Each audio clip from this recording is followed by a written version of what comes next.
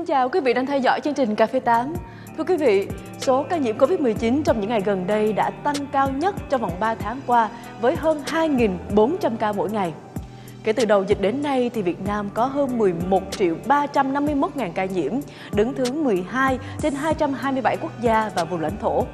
Mặc dù đa số người dân đã được tiêm phòng ngừa Covid-19 từ 3 đến 4 mũi, nhưng chúng ta không nên quá vội khi xem nó là một dạng bệnh cúm thông thường.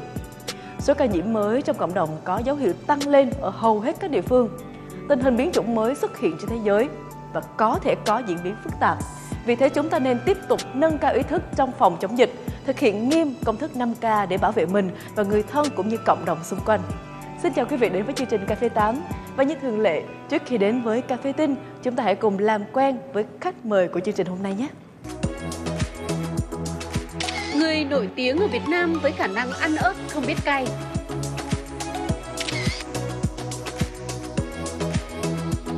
Người được gọi là vua ớt, thiên hạ đệ nhất ớt, thần ớt.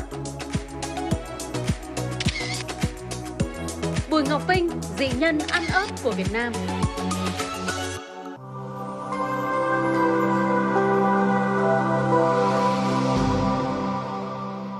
Thưa quý vị, bất chấp các cảnh báo liên tục từ Bộ Công an, Bộ Thông tin Truyền thông và từ các ngân hàng, nhiều khách hàng vẫn sập bẫy kẻ gian khi click vào các đường link độc hại để kèm tin nhắn SMS mạo danh thương hiệu ngân hàng uy tín. Điều đáng nói, thủ đoạn gửi tin nhắn lừa đảo thương hiệu của những kẻ lừa đảo ngày càng được thay đổi theo hướng tinh vi hơn, với nội dung mạo danh đánh vào sự sợ hãi, cả tin của khách hàng. Các tên miền lừa đảo này thường có dạng là tên ngân hàng.vn-a.top, trong đó thì vn-a.top là tên miền chính. Sau đó thì kẻ gian có thể là thay thế tên miền phụ bằng tên của các ngân hàng tại Việt Nam. Theo các chuyên gia bảo mật, nếu nhìn qua thì người dùng sẽ thường chỉ để ý đến phần là tên ngân hàng.vn và có thể lầm tưởng là website chính thức của ngân hàng. Kẻ gian đã gửi email sao kê giả mạo với nội dung là thông báo khách hàng đang có dư nợ thẻ tín dụng và cần thanh toán. Sau đó họ sẽ gọi điện cho khách hàng và xưng là nhân viên ngân hàng để hướng dẫn và thúc ép thanh toán dư nợ. Các chuyên gia khuyến nghị người dùng cần kiểm tra kỹ trước khi truy cập các tên miệng liên quan đến ngân hàng, tổ chức tài chính. Thông qua các website lừa đảo thì kẻ gian thường muốn khai thác số chứng minh nhân dân, căn cước công dân, hộ khẩu, thông tin đăng nhập ngân hàng điện tử và mã OTP. Người dùng được khuyến nghị là tuyệt đối không cung cấp thông tin cá nhân cho bất cứ ai, kể cả là người tự xưng chính là cơ quan điều tra hay nhân viên ngân hàng qua điện thoại.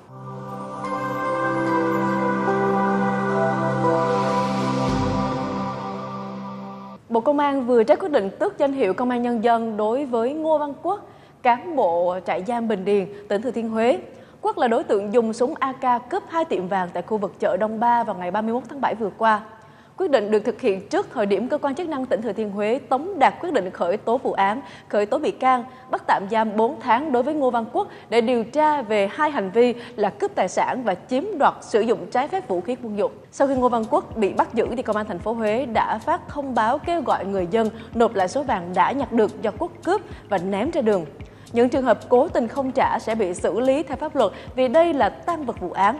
Tuy nhiên, việc trả lại vàng được thực hiện rất nhỏ giọt hàng chục cây vàng của bị hại còn thất lạc. Trường hợp số vàng tăng vật theo trình báo của bị hại không được hoàn lại đầy đủ thì khi xét xử, tòa án sẽ phán quyết yêu cầu đối tượng gây án đền bù thiệt hại cho bị hại.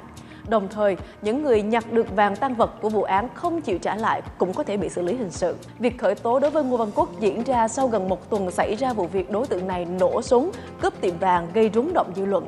Sau gần một tuần bị tạm giữ hình sự tại trại giam Công an tỉnh Thừa Thiên Huế, tâm lý của Ngô Văn Quốc đã dần ổn định. Đối tượng đã nhận ra hành vi sai trái nghiêm trọng do mình gây ra. Trong nhà tạm giam, Ngô Văn Quốc bày tỏ thái độ hối hận và viết một bức thư nhờ cán bộ điều tra gửi đến lãnh đạo Công an tỉnh Thừa Thiên Huế.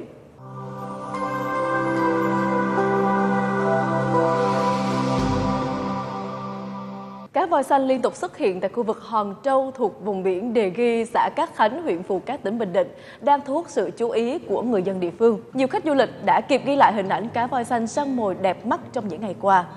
Trước đó vào tháng 6 và tháng 7, nhiều đoàn khách khi du lịch tại khu vực Hòn Châu thuộc vùng biển Đề Ghi cũng chứng kiến hai con cá voi xanh xuất hiện săn mồi ở vùng biển này. Những người ngư dân ở đây gọi cá voi là ông dựng vì mỗi lần bắt cá cơm, cá nhỏ, nó hay dựng đứng lên khỏi mặt nước. Hiện đang là mùa cá con ghé vào các khu vực vịnh cho nên cá voi về thường xuyên. Thời điểm dễ gặp là sáng sớm và chiều muộn.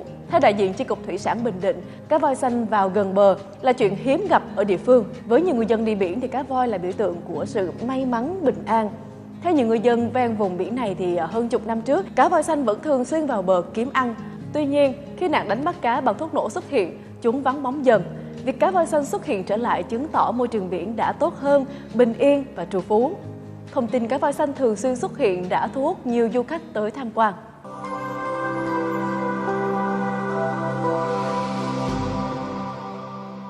Vào những năm 2005-2006, dư luận khắp cả nước xôn xao về một kỳ nhân xứ Huế ăn ớt cay như ăn khoai, khi ăn có cảm giác ngon ngọt như ăn kẹo. ngọt và mát Với khả năng đặc biệt này, anh Bùi Ngọc Vinh đã được tổ chức kỷ lục Việt Nam xác lập kỷ lục người ăn ớt nhiều nhất cùng một lúc.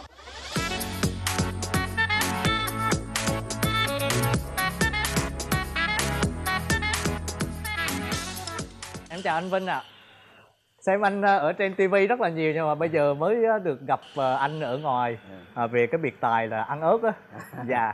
Nên muốn trò chuyện với anh một chút chắc là được đúng không ạ? à được rồi Dạ rồi. Vô nhà nữa Kể từ khi kỷ lục của anh được công bố, bạn bè gọi vui anh là thiên hạ đệ nhất ớt, người cùng làng cùng xã gọi anh là vua ớt. Còn cả nước biết đến anh là một kỷ lục gia có khả năng ăn ớt như ăn cơm. Anh anh Vinh là anh phát hiện ra là mình ăn ớt không cay từ khi nào anh? Không thể nhớ được cái thời điểm nào chính xác Dạ.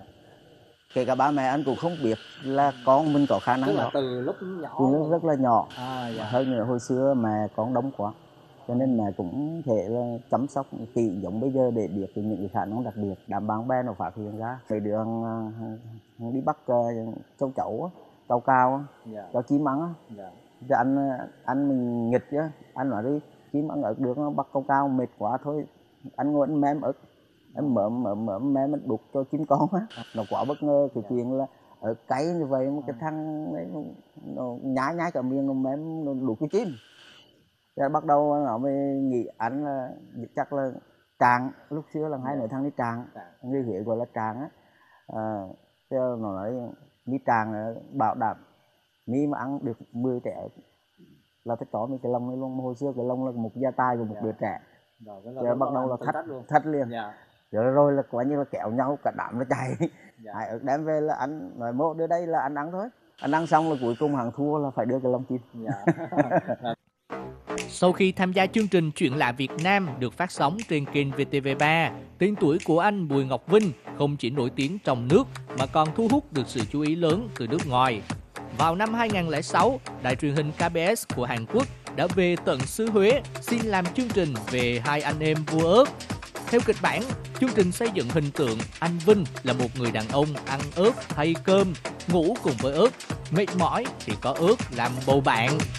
À, đài truyền hình Hàn Quốc người ta có về đây người ta phỏng vấn thì người ta liên lạc và à, sau đó người ta thử thách anh những cái thử thách gì KBS á là một trong những kênh khai thác mà nổ công phu nhất và đem đi khoảng hơn 10 loại ớt có nồng độ cái mà theo chỉ số về hóa học á là tầm cỡ thế giới trong đó có ớt Ấn Độ, ớt Mexico, ớt Thái Lan, rồi ờ, ở một số vùng miền của Hàn Quốc.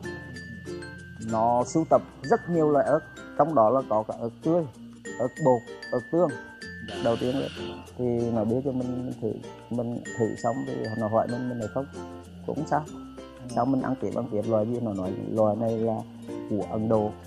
Hiện loài này đang là được đánh giá là loài ớt cay nhất mà không thể ai có khả năng ăn hết một trái mà đưa cho anh ăn vẫn bình thường. Sau đó nó nói là ngoài cái vị giác của anh thì anh còn khả năng gì nữa cho này bình thường tất cả các loại mà anh qua thực tế anh hay thử thì anh ờ, đều bôi vào mắt rồi hết. Cho nó ngạc nhiên lắm Mới đây nhất, vua ớt Bùi Ngọc Vinh đã khiến khán giả cả nước hot phim với màn ăn uống sinh tố ớt rồi sát ớt lên mặt trong chương trình Người bí ẩn phát trên HTV7. Khán giả cả nước đã được chứng kiến những màn trình diễn ngoạn mục về khả năng ăn ớt không cay của anh. Em đã nhờ tư vấn là tìm được cái loại ớt gọi là siêu cay rồi đó. Ờ, bây giờ sẽ anh Vinh sẽ thực hiện cái thử thách. Ừm, chỉ cần bẻ ra và đã nghe cái mùi nó nồng lên rất là là nhiều rồi. Bây giờ rất là tò mò không biết là anh Vinh sẽ thực hiện cái thử thách như thế nào đây. Rồi em mời anh Vinh nha. Đây là ớt chỉ thiên dạ. Ớt chỉ thiên ớt đỏ này là À. dành cho người ăn ớt nghiện đấy. Dạ. Cay. Dạ. Và trong dĩa ớt của em chuẩn bị để mời ăn á, dạ. Có cái ớt màu xanh này là ớt ở Huế gọi là ớt cao sản à, với một người bình thường thì thường thường không ai dám ăn Dạ. được trái ớt này. Bây giờ em xem nha. Dạ rồi em rất là tò mò đây Ừm, là mình không có cảm giác cay hay là gì luôn. Nói chung anh ăn một trái ớt như như loại ớt này á. Dạ. Thì à, anh cảm giác là nó càng cảm thấy ngọt hơn nữa. phần đỏ này á. Đối với anh là một loại Dạ. trái cây bình thường. Dạ.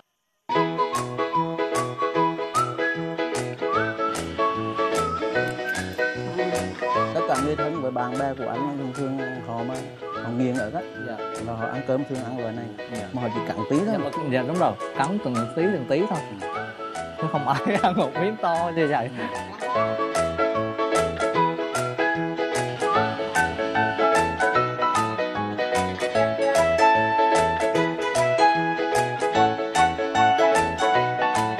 Chỉ ngửi thôi mà đã cay rồi nhưng mà bây giờ đưa vô miệng là vẫn không có cảm giác gì hết. Sao lại có thể một người mà có khả năng rất là đặc biệt luôn Ngoài khả năng ăn ớt không biết cay thì anh Bùi Ngọc Vinh vẫn là con người bình thường như bao người khác, chuyên đi chụp ảnh tại các điểm di tích cho khách du lịch nên anh có niềm đam mê lớn với nhiếp ảnh.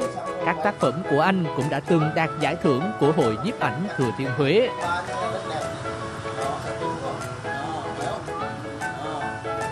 Không cảm nhận được ở người đàn ông này thì anh rất là lạc quan và yêu đời. À, suy cho, cho cùng thì anh cũng là một người bình thường thôi và cũng sẽ có những niềm đam mê riêng của mình à, như là nhiếp ảnh hay là những niềm đam mê về ca hát. xin à, gửi một ca khúc à, của nhạc sĩ Trần Quang Lộc đó là bài hát về đây nghe em. Về đây nghe em về đây nghe em. Về đây từng hát trên sông nước này hồn mình trở về quê hương. Chờ lòng mình vào dòng suối mát chờ thật thà vào lòng dối trá. Và nhạc hoa xin tạ chút ơn hoang phí khi đã gặp nhau.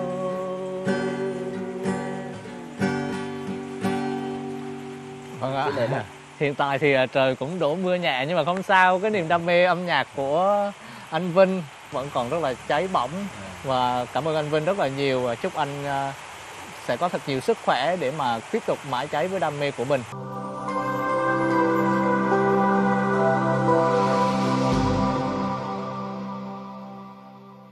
Thưa quý vị và các bạn, những người làm việc ở trạm đèn biển Cồn Cỏ vẫn cần mẫn giữ cho ngọn đèn biển luôn sáng bởi ánh sáng của ngọn hải đăng vừa đảm bảo an toàn hàng hải, vừa là ánh sáng chủ quyền thiêng liêng của Tổ quốc.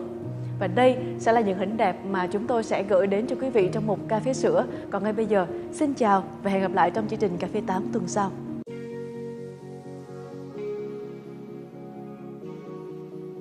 Công việc của chúng tôi thắp sáng ngọn hải đăng này, thông báo cho tàu bè cập cảng cập à, bờ an toàn. Ở đây thì chúng tôi có 6 người làm nhiệm vụ à, canh giữ ngọn hải đăng này. Khi làm công việc này thì tôi rất chi là vinh dự và tự hào vì mình đã đóng góp một à, phần công sức giữ gìn à, biển đảo quê hương. Nói Nghe cái công việc thắp sáng đèn thì nghe vẻ nó đơn giản nhưng mà phải có tâm huyết và yêu nghề thì mới có thể làm được.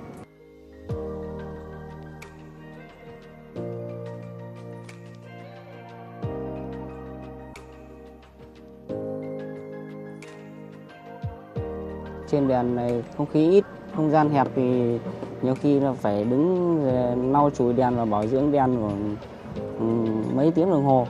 Mưa bão thì phải nên kiểm tra đèn với các thứ luôn luôn phải là có ánh sáng, không được để đèn tắt. Công việc thì nhiều cũng vất vả nhưng mà mình yêu nghề vì đây là cũng góp một phần nào đó về bảo vệ tổ quốc biển đảo.